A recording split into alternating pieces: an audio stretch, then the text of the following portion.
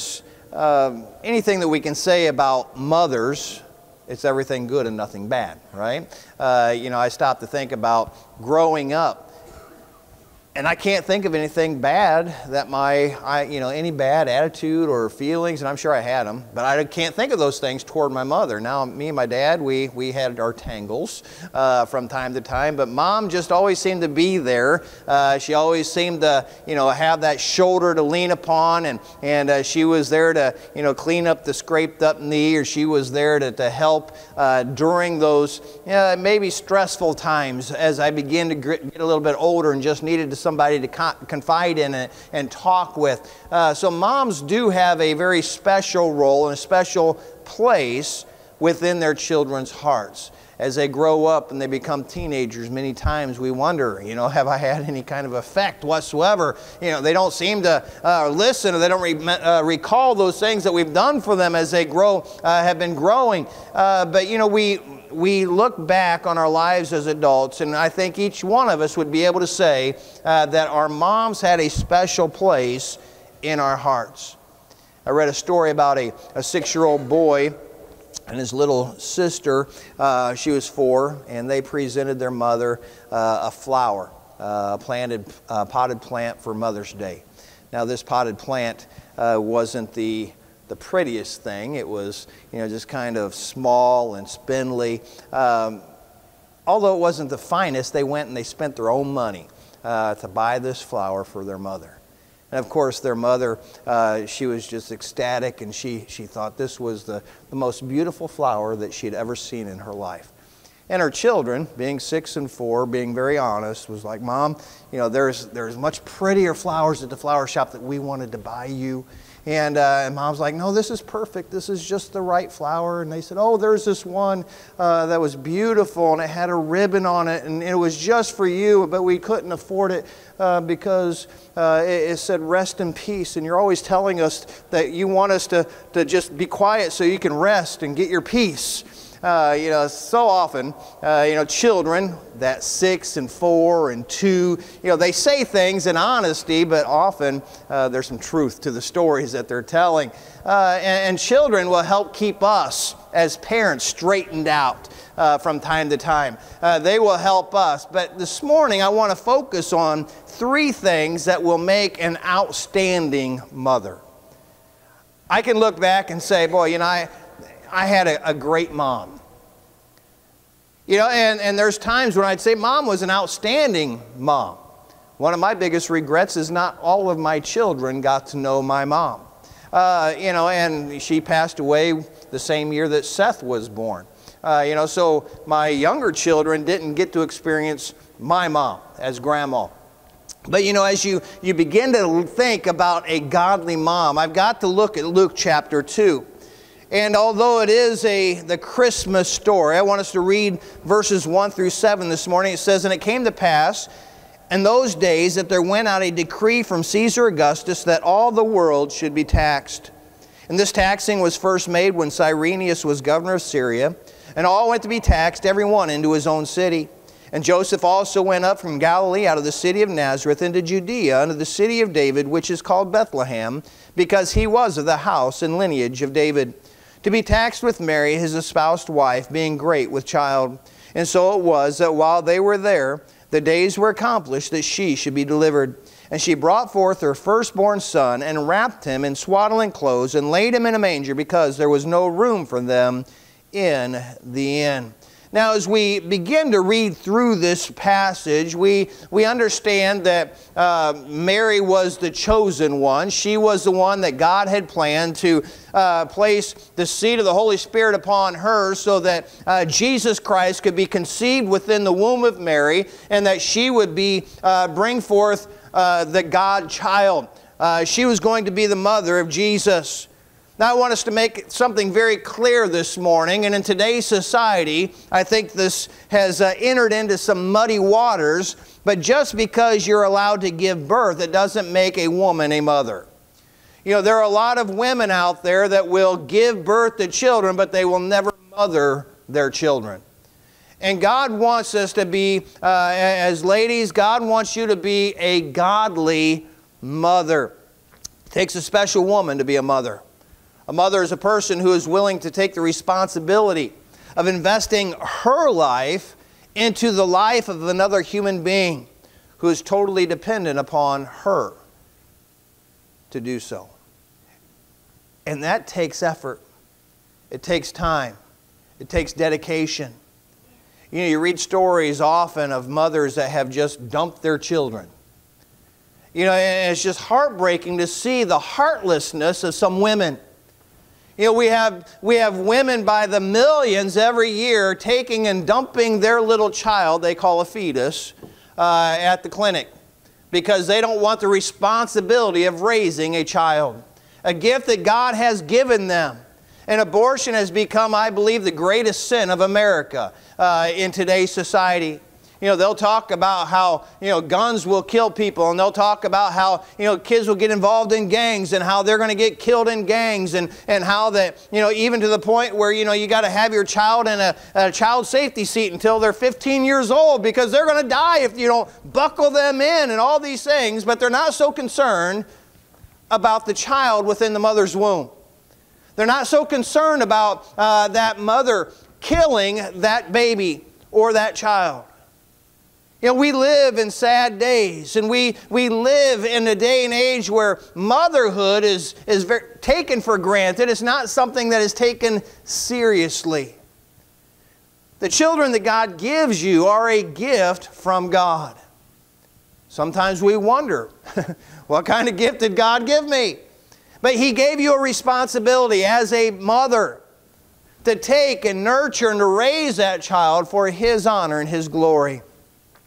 I read a poem. It says, The one who follows me. It says, A careful mother I ought to be. A little one is following me. I do not dare go astray, for fear she'll go the self same way. I cannot once escape her eyes. Whatever she sees me do, she tries. Like me, she says she'll, she's going to be that little one who follows me. She thinks that I am good and fine, believes in every word of mine. The base in me she must not see, that little one who follows me. I must remember as I go through summer sun and winter snow, I am building for the years to be that little one who follows me.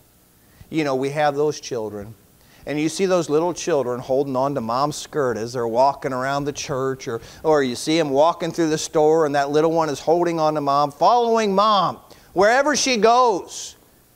And those children are learning from that mother every step of the way. If that mother has fits of rage, that little child is going to learn those fits of rage.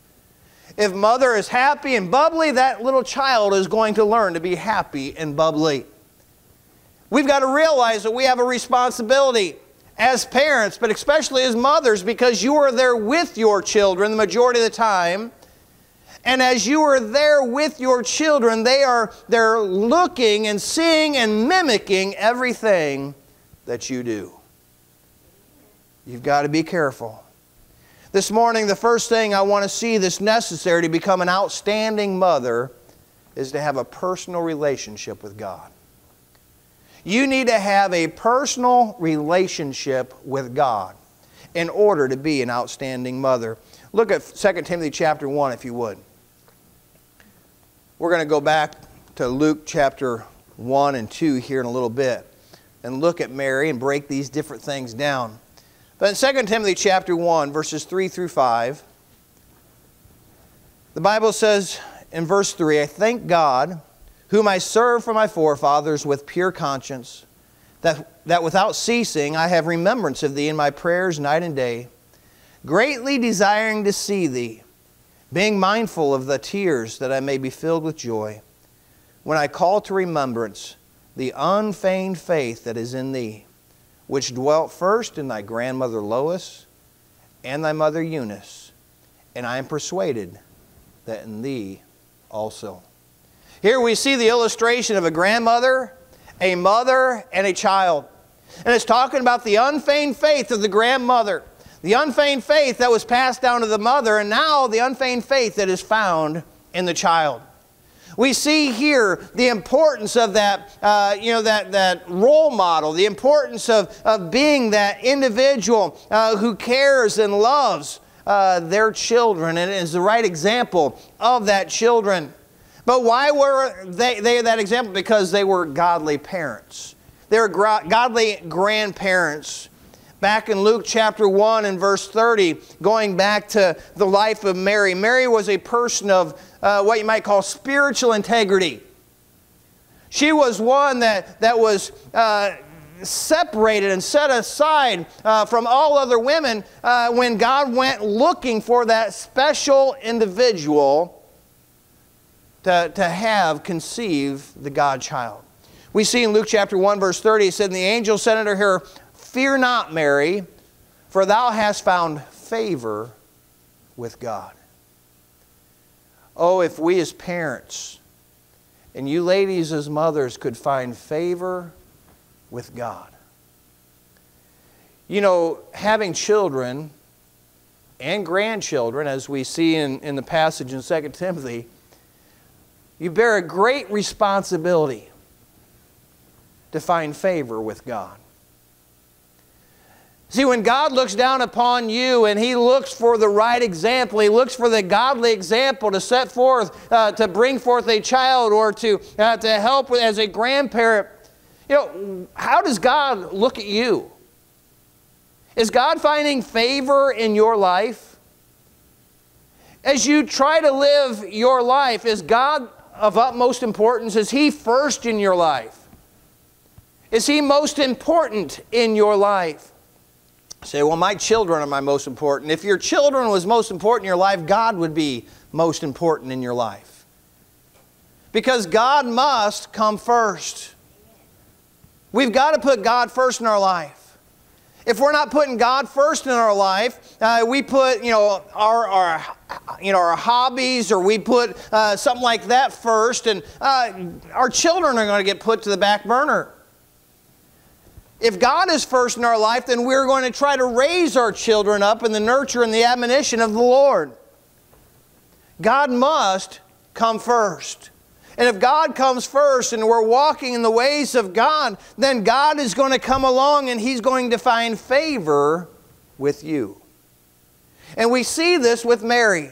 Out of all the women that was walking around the face of the earth at this time, God chooses Mary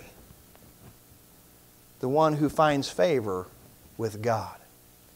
You know, all through the scriptures, we can see God choosing individuals that had found favor. You know, we, we can look at people like David and we can look at uh, individuals that had God, God had chosen, uh, like a Joshua. Uh, but you can also look at women like an Esther or a Ruth. You can look at a Mary. You can look at a Martha. You can look at individuals that God looked upon and, and, and seen them as friends. And He finds favor upon their lives. Why? Because God is first in their life. God must come first. Mary wasn't only a person of spiritual integrity, but Mary was a person who enjoyed being in the presence of God.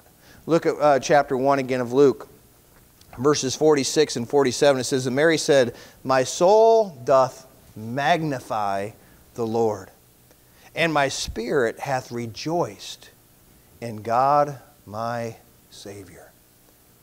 In her life, she was just magnified at the fact that the, the presence of God comes upon her and she can joy in that.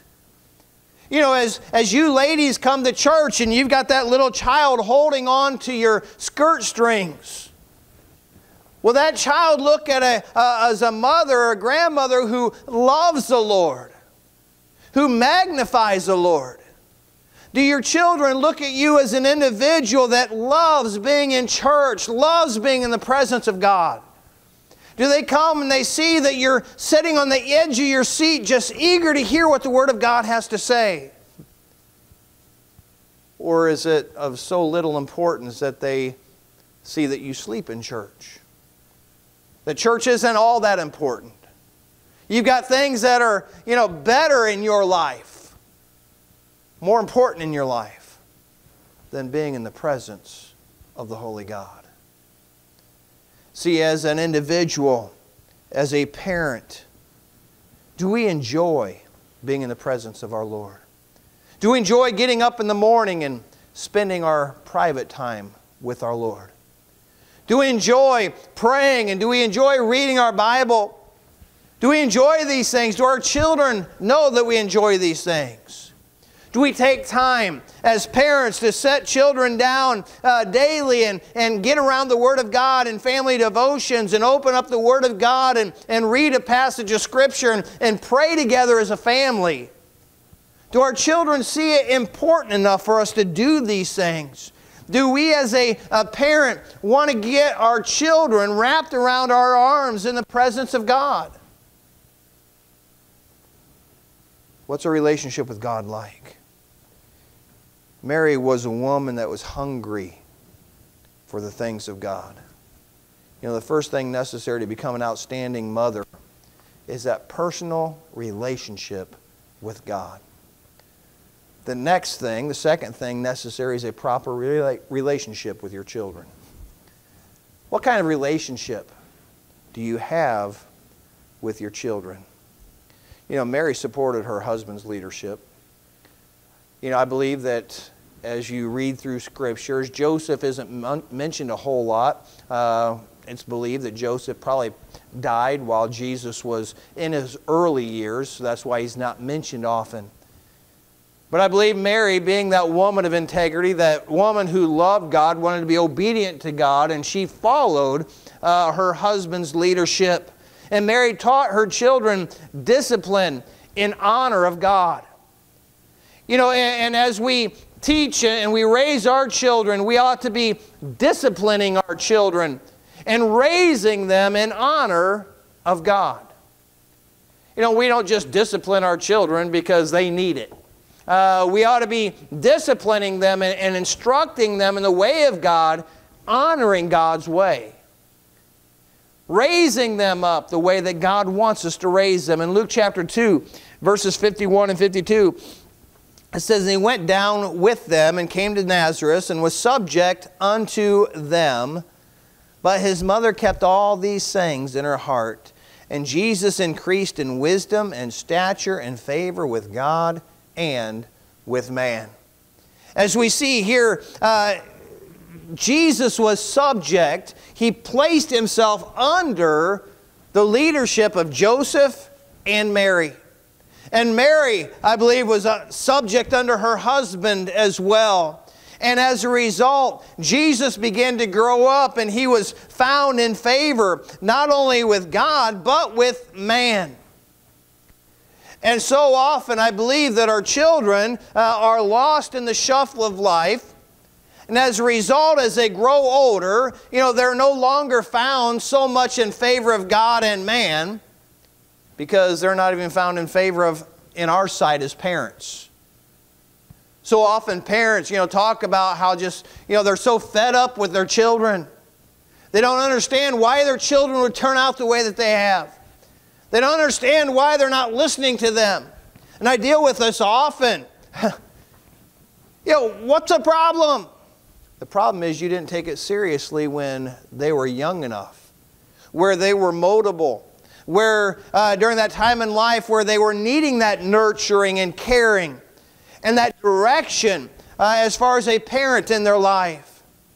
You know, they reach a certain point in life if they haven't uh, been instructed and, and, cared for spiritually when they were young. What's going to happen is all you, the only opportunity and the only option you have is to pray for them, to be a godly example to them, because they've got to make that decision on their own. They've got to get to a point in their life where they realize, you know what, um, mom and dad live this way. I got to decide whether I'm going to live this way or not. And if you're a godly parent and God's blessed you in your life, why wouldn't your children want that? Why wouldn't they want God's blessing? The Bible says in Proverbs 22, verse 6 train up a child in the way he should go, and when he is old, he will not part from it. You know, that's a promise. God commands us in the first part of the verse train up a child in the way he should go. How should he go? Well, according to Scripture, he ought to go God's way. He ought to put God first in his life, in every aspect of his life. And parents, it's our responsibility to be training our children up in God's way, in the nurturing and the admonition of the Lord. And the Bible promises that if we do this, we train them up in the way they should go when, they were, when they're old, they will not depart from what? That training. They're not going to depart from the relationship that we've taught them in our own lives that should be important as far as we following God. They're going to grow up saying, you know what? If it works for mom and dad, it must work for me. And really, this is a big problem that we have uh, with young people today. We live in a, a second and third generation now where parents have basically coddled their children. We live in a society today where, you know, you don't have winners and losers. You know, we've trained our children that everybody ought to be treated fairly. We live in a society where everybody gets a trophy. Everybody participated, so everybody gets a participation trophy. And what's happened is we've trained our children, we've raised our children in today's society to believe that life should be fair. We've raised children to believe that they don't have to work for anything, they should just be given everything. And thus we have termed this generation the millennials. And we see through statistics that, you know, many 25, 26, 27 year olds, you know, with hundreds and hundreds and fifty thousand dollars worth of student loans because they went and got a degree or, or maybe dropped out before they got the degree in something that was menial, something that really had no basis to it whatsoever, and they get out of college and realize, man, I can't really get a good paying job with this degree. So what do they do? They move back home they continue to be coddled. They continue to be given whatever they want. Parents, we have a responsibility. Life is not fair. You know, there are things in life that we've got to realize, we've got to, uh, you know, teach and instruct our children in that life is not fair. Life at times is hard. And you've got to work through those hard times to make life better. And as a parent, it's so important for us to teach our children that because what's going to happen as they grow older and they, you know, try to live a godly life, things are going to get hard. Things aren't going to go the way they want them to go spiritually. And then they're just going to quit because it's supposed to be given to me. No, it's got to be worked for. The Christian life is not something that's just easily given. It, it's hard work. Now, salvation comes easy. We, we overcome uh, Satan's power through the conviction of the Holy Spirit and giving into the Holy Spirit's conviction. We accept Jesus Christ as our personal Savior. But to maintain a godly life takes work, it's hard. And as parents, we must instill and instruct this into our children. So when they are old, they will not depart from it. If your children can't honor you as a parent, how are they going to grow up to honor God as their Heavenly Father? If they're not going to be obedient to you as a parent, it's likely they're not going to grow up to be obedient to God, their Heavenly Father. See, as we raise our children, it's not just raising them up to be obedient to me so I can have a good relationship with them. No, we're trying to teach our children to be obedient to us and honor us as their parents so as they grow older, they're obedient to God and they're honoring to God their Father. And as they grow up to honor and obey God, as a godly parent, they're going to honor and obey us. And that relationship, as they grow older, is going to get sweeter and sweeter and sweeter. We're not going to have the contention. You know, we're not going to have the strife battling between us and our child as they grow older if we raise them up in the nurture and the admonition of the Lord. See, Mary, she was faithful to her children. The Bible tells us in John chapter 19, verse 25 Now there stood by the cross of Jesus his mother, and his mother's sister, Mary, the wife of Cleophas, and Mary Magdalene. All the way to the very end, we find his mother was there by him. You know, the world was saying, Crucify him. And they crucified him with the slay or with the murderer and with the thief. She knew he was innocent. But she also knew that he was brought to this earth to do and fulfill exactly what he was doing there on the cross. And even though, as a mother there at the cross, typically would have been shamed at the sight of their child being hung on the cross because of the heinous crime that they were accused of. She understood that Jesus was being accused of falsely, that he was the perfect child, not the perfect child that parents claim to have, but he was the only perfect child. And she knew he had to have been innocent of any allegation that they brought against him is she remained faithful to him to the end. We need to remain faithful to our God. Remain faithful to our children. Don't give up on your children, Mom. No matter how hard or how difficult they become, a loving parent is going to continue to pray for them. A godly mother is going to continue to love them encourage them in the Lord, and hopefully see them back on the right track if they wavered, if they've gone astray. A godly mom has that proper relationship with her family. A godly mother also, number three, has a willingness to serve God. A willingness to serve God. In Luke chapter 1, verse 38, it says, Mary said, Behold, the handmaid of the Lord. Be it unto me according to thy word. And the angel departed from her. She said, Listen, I'm just willing to be used. It doesn't matter in what capacity, it doesn't matter what for. I'm just willing to be used. You know, today, in, in today's society, we live in such a selfish society. You know, a lot of parents, a lot of moms, a lot, uh, a lot of men, you know, want to be very selective with how they serve. They want to serve it, you know, be in service not necessarily God's way, but their way. They want to be in the service of God, but they want the recognition. They don't want to serve to give God the recognition. You know, they're not willing to, you know, clean the toilets or the floors or to take out the trash. You know, they're not willing to help out at the work parties, or they're not willing to work in the nursery, they're not willing to do these things.